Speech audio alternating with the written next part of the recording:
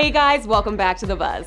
Will Hayden, owner of Red Jacket Firearms and the central character of Discovery's popular reality show Sons of Guns, was arrested over the weekend in Louisiana on suspicion of child molestation. East Baton Rouge Sheriff's deputies arrested Hayden on accusations of child molestation and a crime against nature, which is an aggravated offense. TMZ reports that the gunsmith and shop owner was booked on Saturday and later released after posting the $150,000 bond. Hayden told TMZ his ex girlfriend and mother to one of his daughters went to cops more than a week ago and accused him of molesting their child.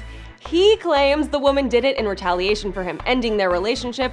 Hayden also told the website that the daughter that he shares with his ex is now raising with his new wife and is said to have abused, was interviewed by Child Protective Services already and subsequently returned to his home.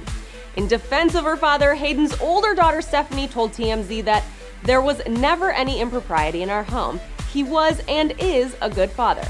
That's all for now. Keep checking back right here for more news.